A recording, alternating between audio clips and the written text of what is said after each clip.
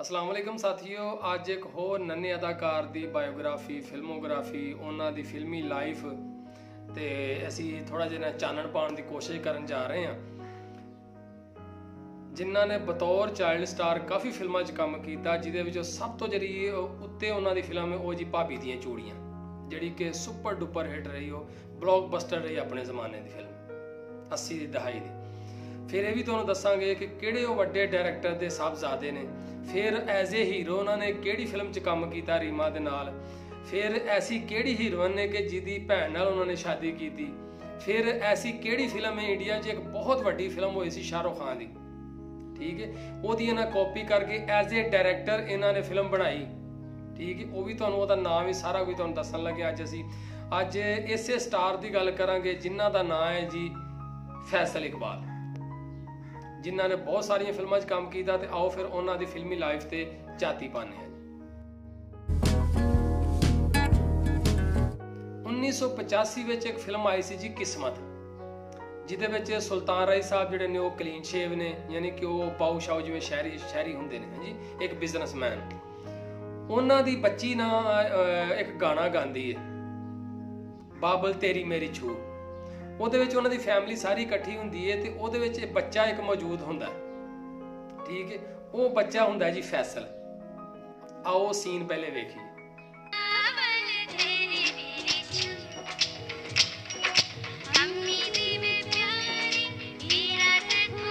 ਮਾਸ਼ਾਅੱਲਾ ਬਹੁਤ ਸੋਹਣਾ ਪਿਆਰਾ ਗੁਲਗਲਾ ਜਿਹਾ ਬੱਚਾ ਹੈ ਜੀ। ਇਸ ਤੋਂ 1 ਸਾਲ ਬਾਅਦ 1986 ਵਿੱਚ ਇਹਨਾਂ ਦੀ ਫਿਲਮ ਆਈ ਜੀ ਜਿਹੜੀ ਕਿ ਜਿੰਨੇ ਜਿਹੜੀ ਅੱਜ ਤੱਕ 86 ਤੋਂ ਲੱਗ ਕੇ 2022 ਜਾ ਰਿਹਾ ਅੱਜ ਵੀ ਲੋਕੀ ਉਹਨੂੰ ਇੰਨਾ ਜ਼ਿਆਦਾ ਪਸੰਦ ਕਰਕੇ ਤੇ ਪਿਆਰ ਦਿੰਦੇ ਨੇ ਕਿ ਉਹ ਬੱਚੇ ਦੀ ਅਦਾਕਾਰੀ ਵੇਖ ਕੇ ਲੋਕੀ ਰੋ ਪੈਂਦੇ ਨੇ। ਖਾਸ ਕਰ ਬੀਬੀਆਂ ਜਿਹੜੀਆਂ ਉਹਨਾਂ ਦੇ ਅੱਥਰ ਨਹੀਂ ਸੁੱਕਦੇ। ਐਸੀ ਜਾਨਦਾਰ ਅਦਾ ਕੀਤੀ ਅਦਾਕਾਰੀ ਕੀਤੀ ਫੈਸਲ ਨੇ। ਠੀਕ ਹੈ? ਉਸ ਫਿਲਮ ਦਾ ਨਾਮ ਜੀ, ਭਾਬੀ ਦੀਆਂ ਚੂੜੀਆਂ। ਜਿਹੜੀ ਇੱਕ ਫੈਮਿਲੀ ਫਿਲਮ ਹੈ ਤੇ ਸ਼ਾਨਦਾਰ ਮੂਵੀ ਹੈ, ਯਕੀਨ ਕਰੋ। ਅੱਜ ਵੀ ਤੁਸੀਂ ਵੇਖੋਗੇ ਤੇ ਐਸਾ ਲੱਗੇਗਾ ਜਿਵੇਂ ਘਰ ਘਰ ਦਾ ਵਾਕਿਆ ਉਹਦੇ ਵਿੱਚ ਜਵੇਦ ਸ਼ੇਖ ਸਾਹਿਬ ਬਹੁਤ ਵੱਡਾ ਨਾਂ ਆਪਣੇ ਜ਼ਮਾਨੇ ਦਾ, ਸਲਮਾ ਆਗਾ ਜੀ, ਬਹੁਤ ਸ਼ਾਨਦਾਰ ਅਦਾਕਾਰਾ ਹਾਂਜੀ। ਉਹਨਾਂ ਨੇ ਭਾਬੀ ਦਾ ਕਿਰਦਾਰ ਕੀਤਾ ਤੇ ਇਲਿਆਸ ਕਸ਼ਮੀਰੀ ਸਾਹਿਬ ਜਿਹੜੇ ਨੇ ਉਹ ਪਿੰਡ ਦੇ ਚੌਧਰੀ ਹੁੰਦੇ ਨੇ, ਸ਼ਾਨਦਾਰ ਫਿਲਮ ਹੈ ਜਿਹਦੇ ਵਿੱਚ ਆ ਬੱਚੇ ਨੇ ਕਿਰਦਾਰ ਕੀਤਾ ਫੈਸਲ ਇਕਬਾਲ ਨੇ। ਆਓ ਜ਼ਰਾ ਪਹਿਲੇ ਉਹ ਇੱਕ ਸੀਨ ਆ ਉਹਨਾਂ ਦਾ ਵੇਖ ਲਈਏ, ਫਿਰ ਗੱਲ ਕਰਨੇ। ਹੱਥ ਟੁੱਟ ਕੇ ਦੁਆ ਮੰਗ ਕਿ ਤੇਰੇ ਸਿਰ ਦੀ ਚਾਦਰ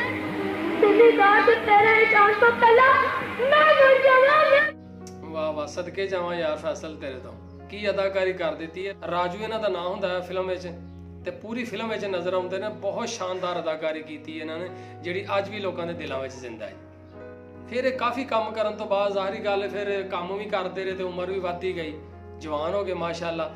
ਫਿਰ 1996 ਵਿੱਚ ਇਹਨਾਂ ਨੇ ਬਤੌਰ ਹੀਰੋ ਫਿਲਮ ਕੀਤੀ।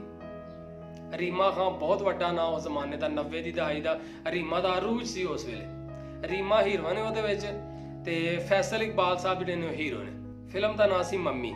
ਕਿਉਂ ਨਾ ਉਹਦਾ ਇੱਕ ਸੀਨ ਵੇਖ ਲਈਏ ਜ਼ਰਾ, ਹਾਂਜੀ? ਤਾਂ ਕਿ ਪਤਾ ਲੱਗ ਜਾਏ ਯਾਰ ਕਿ ਬੱਚਾ ਇਸ ਤਰ੍ਹਾਂ ਦਾ ਸੀ ਫੈਸਲ ਤੇ ਜਵਾਨੀ 'ਚ ਕਿਸ ਤਰ੍ਹਾਂ ਦਾ ਲੱਗਦਾ। ਆਓ ਜ਼ਰਾ ਵੇਖੀਏ। ਤੁਝ ਕੋ ਦੇਖਾ ਹੈ ਤੋ ਚਿਹਰੇ ਤੇ ਧਨਕ ਜਾਗੀ ਮਾਸ਼ਾਅੱਲਾ, ਸਲਾਮਤ ਰਹਿਣ ਜੀ, ਜਿਵੇਂ ਛੋਟੇ ਹੁੰਦੇ ਸੋਹਣੇ ਨੇ, ਵੱਡੇ ਵੀ ਸੋਹਣੇ ਨੇ ਹਾਂਜੀ ਤੇ ਫਿਰ ਹੈ ਕਸ਼ਮੀਰੀ ਬੱਚੇ। ਫਿਰ ਤੁਹਾਨੂੰ ਪਤਾ ਹੋਏਗਾ ਕਿ Iqbal Kashmiri Sahib Pakistan film film industry ਦੇ ਬਹੁਤ ਵੱਡੇ ਫਿਲਮ ਡਾਇਰੈਕਟਰ ਨੇ ਹਾਂਜੀ ਬੜੀਆਂ ਬੜੀਆਂ ਕਾਮਯਾਬ ਫਿਲਮਾਂ ਉਹਨਾਂ ਨੇ ਪਾਕਿਸਤਾਨ ਨੂੰ ਦਿੱਤੀਆਂ ਉਹਨਾਂ ਦੇ ਸਾਹਿਬਜ਼ਾਦੇ ਸਨ ਇਕਬਾਲ, ਫੈਸਲ ਇਕਬਾਲ ਕਸ਼ਮੀਰੀ ਸਾਹਿਬ, ਠੀਕ ਹੈ? ਤੇ ਉਹ ਪਿਆਰੇ, ਤੇ ਫਿਰ ਇਹ ਵੀ ਤੇ ਪਿਆਰੇ ਹੀ ਹੋਣੇ ਸਨ ਹਾਂਜੀ ਫਿਰ ਇਹਨਾਂ ਨੇ ਆਪਣੇ ਵਾਲਦ ਸਾਹਿਬ ਦੀ ਤਰ੍ਹਾਂ ਬਤੌਰ ਹਦਾਇਤਕਾਰ ਐਜ਼ ਅ ਡਾਇਰੈਕਟਰ ਇਹਨਾਂ ਨੇ ਫਿਲਮ ਬਣਾਈ ਤੁਹਾਨੂੰ ਪਤਾ ਇੰਡੀਆ ਵਿੱਚ ਇੱਕ ਫਿਲਮ ਬਣੀ ਸੀ ਸ਼ਾਹਰੁਖ ਖਾਨ ਦੀ ਦੇਵਦਾਸ ਉਹ ਤੇ ਕਮਾਲ ਫਿਲਮ ਗਈ ਨਾ ਇਹਨਾਂ ਨੇ ਕੀ ਕੀਤਾ ਕਿ ਉਹਨੂੰ ਕਾਪੀ ਕਰਕੇ ਨਾ ਤੇ ਇਹ ਫਿਲਮ ਬਣਾਈ 2015 ਵਿੱਚ ਦੇਵਦਾਸ ਜਿਹੜੀ ਕਿ ਉਹਨਾਂ ਮੰਨਿਆ ਕਿ ਉਹਨਾਂ ਲੋਕੇਸ਼ਨ ਹਰ ਚੀਜ਼ ਜਿਹੜਾ ਹੈ ਨਾ ਉਹ ਸੈੱਟ ਜਿੰਨੇ ਵੀ ਲੱਗੇ ਸ਼ਾਨਦਾਰ ਕੀਤੇ ਨਵਾਂ ਹੀ ਮੁੰਡਾ ਉਹਦੇ ਵਿੱਚ ਨਦੀਮ ਸ਼ਾ ਨਾਲ ਉਹਦੇ ਨਾਲ ਜ਼ਾਰਾ ਸ਼ੇਖ ਹੈ ਮੀਰਾ ਜੀ ਨੇ ਨਾਲ ਠੀਕ ਹੈ ਇਹਨਾਂ ਅਦਾਕਾਰੀ ਕੀਤੀ ਤੇ ਬਤੌਰ ਹਦਾਇਤਕਾਰ ਇਹਨਾਂ ਦੀ ਆ ਇੱਕ ਫਿਲਮ ਆਈ ਸੀ।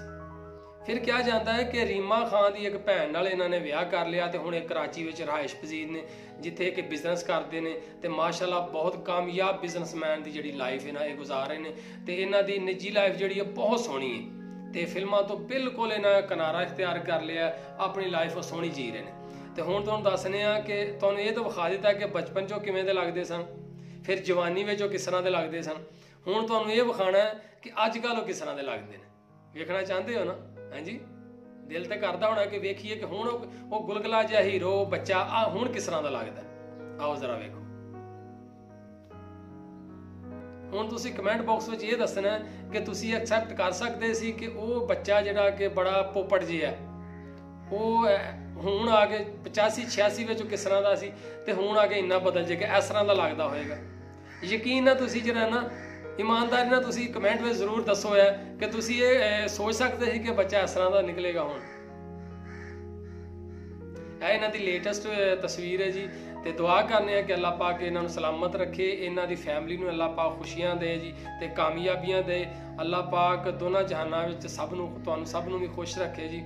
ਉਮੀਦ ਕਰਾਂਗੇ ਕਿ ਤੁਸੀਂ ਇਸ ਵੀਡੀਓ ਨੂੰ, ਇਸ ਚਾਈਲਡ ਸਟਾਰ ਨੂੰ, ਇਸ ਪਾਕਿਸਤਾਨ ਦੇ ਸਟਾਰ ਸਾਸਾ ਸਟਾਰ ਨੂੰ ਜਿਹੜਾ ਨਾ, ਇਹ ਮੁਹੱਬਤਾਂ ਦਵੋਗੇ। ਅੱਜ ਦੇ ਸਾਡੇ ਪ੍ਰੋਗਰਾਮ ਨੂੰ ਮੁਹੱਬਤਾਂ ਦਵੋਗੇ। ਤੇ ਦਿਓ ਇਜਾਜ਼ਤ ਫਿਰ, ਆਪਣਾ ਬਹੁਤ ਸਾਰਾ ਖਿਆਲ ਰੱਖਿਆ ਕਰੋ ਜੀ। ਤੇ ਆਪਣੇ ਲਾਗੇ ਚਾਗੇ ਲੋਕਾਂ ਦਾ ਵੀ ਜ਼ਰੂਰ ਖਿਆਲ ਰੱਖਿਆ ਕਰੋ। ਅੱਲਾ ਬੇਲੇ।